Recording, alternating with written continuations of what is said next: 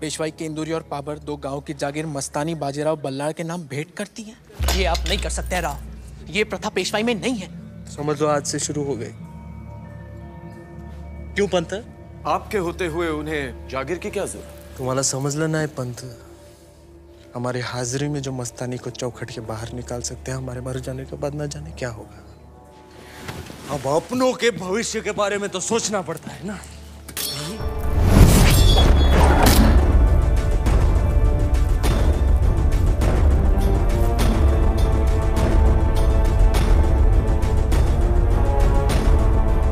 अफसोस आपका निशाना चूक गया श्रीमंत।